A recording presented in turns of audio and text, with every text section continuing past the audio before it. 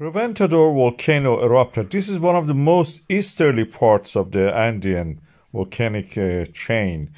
It may mean that the slab that is actually undergoing the subduction under the South America is very steep, so it cannot really reach the ground until further far away from the coast. This is almost overlooking the Amazon forest and it's not more than the three and a half kilometer, uh, slightly less, about a few hundred meters less. It has a very uh, dangerous eruption style. When it erupts, it creates a huge ash cloud of pyroclastics, and that can be potentially dangerous to aviation, also the communities around it. When it erupts, uh, it will create a high eruption column. In 2002, it created an eruption column which reached 17 kilometers to the sky.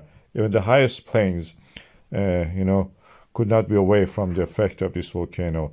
The ash from this could reach any airplane and damage it. It is in Ecuador, as I mentioned, eastern part of the country.